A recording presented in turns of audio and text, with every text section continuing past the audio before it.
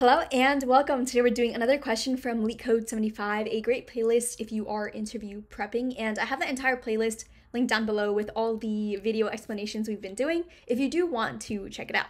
So what is this question? It's equal row and column pair. Given a zero indexed n by n integer matrix grid, return the number of pairs such that row and column are equal.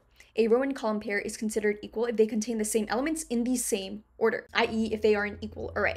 So example one, we have 321 as a row, 176 as a row, and 2, 7, 7 as a row. And our columns are 3, 1, 2, 2, 7, 7, and 167. So we want to find the pairs of rows and columns that are equal. And what are our equal pairs? Well, we don't have any 3, 2, 1s as columns. We don't have any 176 as a column. We have a 167, but it's out of order, so that's not going to work. And 2, 7, 7, do we have any columns of that?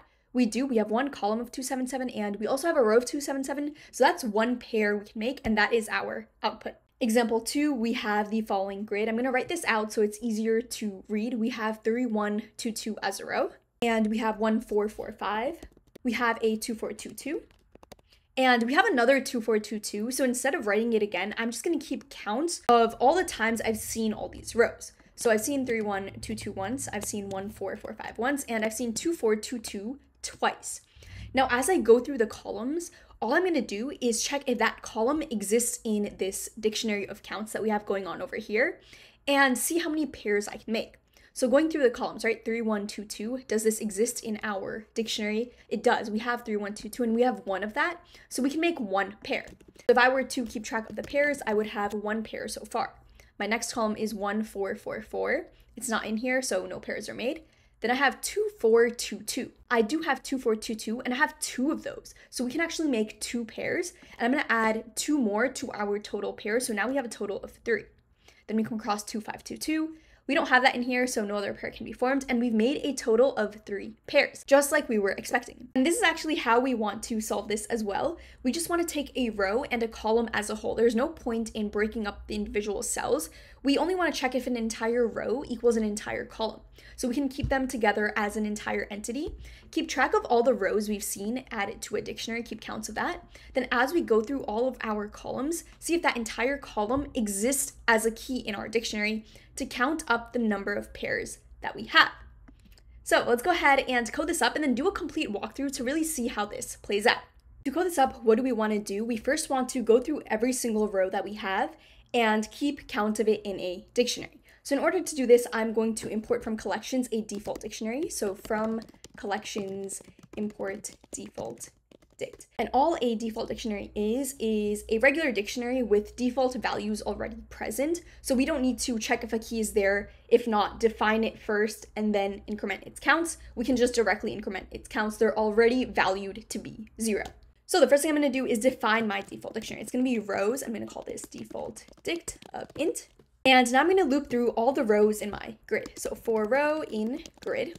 Now I can't take my entire row, the list form of it, and add it as a key to my dictionary.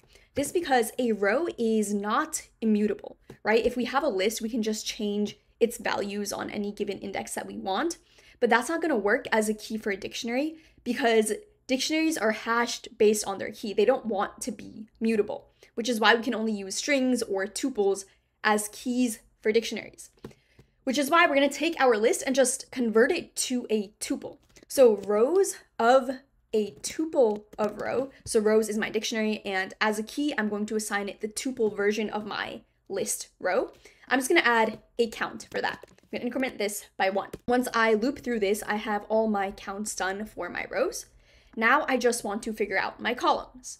So for columns, I'm going to loop through n. This is an n by n grid. So let's also define what n is over here. It's just going to be the length of the grid. So for column in range n, I want to make an entire column going down like this. So right now I'm looping through from 0 to n, not inclusive. I want to get every single row at the column that I want. So my column is going to equal grid of r column for r in range n. Now in Python, this is something called list comprehension. If you're not familiar with it, it's just a shorthand version of writing our for loops and making lists. Basically, we're looping through from 1 to n for columns, so 0 to n not inclusive, right? We're looping through this way. But for all of these column values, we also need to get that grid value from every single row. That's what we're doing here. We're looping through from 0 to n for our row. So we're going row by row, but we're keeping the columns constant. So every time we do this, we get a new column. And now that we have our column, we also want to actually convert this to a tuple. So now I have a column tuple going vertically. I want to check if it's in my dictionary. So if column in rows, I'm going to increment the pairs that I can make by one. So in order to do that, I'm also going to initialize pairs to be zero up here. Now, if the column is in rows, I'm going to add to pairs, so pairs plus equals, the value of the counts at that dictionary. So rows of column. For example, if we come across 2422 as a tuple in our column, we're going to see if it exists in our dictionary of rows. It does. Now we're going to add the value of this tuple, so 2, to the number of pairs that we can make. Now, once we exit out of here, all we have to do is return pairs. So we're gonna return pairs. And that is it. So let's go ahead and submit this. And it is accepted. Now, before leaving, we're gonna do a quick walkthrough with an example just to see how our code is gonna run line by line and really visualize this all together. For our code walkthrough, we're gonna be using example one. So I have my grid input right over here. It looks like this, like this over here. And going through this line by line, the first thing we do is initialize our n. So n is going to be the length of grid, which is 3. Pairs is going to be 0. And I'm initializing rows to be a default dictionary. Now, looping through for every single row in our grid, the first one we come across is 3, 2, 1. This is our row. We're converting it to a tuple, adding it as a key to rows, and increasing the count of that key by 1. By default, it is 0 right now. This is a default dictionary, so it goes to 1 for this tuple. So we have 3, 2, 1 with a count of 1. Now we go back in this for loop. The next row we're on is 176, doing the same thing again. We have 176 as a tuple. Increasing that count by 1 puts us at a total of 1. Going back in this row, we have 277. That as a tuple is this, and we have a value of 1. Now we are out of this for loop. There are no more rows for us to iterate over. So we come into this for loop over here. For column in range n. So column starts off with 0. We're looping through from 0 to 3 not inclusive. The first thing we're going to do is define a column. Now this column is going to be a tuple of grid of R column for r in range n. So what we do is basically loop through r in range n. So 0, 1, 2 are our r values. And for every single 0, 1, 2, we're using a column which is 0. So what do we have at 0, 0? What do we have at 1, 0? And what do we have at 2, 0? That's 3, 1, 2. So right now we have a list of 3, 1, and 2. We convert that into a tuple. And this is our column, right? We set our column equal to this tuple. Now, if column in rows, is this in our dictionary? Is 312 there? It's not, so we exit out of this if and go back into our for loop. So now we are at 1 over here, and we do the same thing again. We keep our column constant, it's 1, and we loop through for rows in range 0 to 3. So what do we have at 0, 1, at 1, 1, and 2, 1? That's 2, 7, 7. We make a tuple of that and assign that to be column.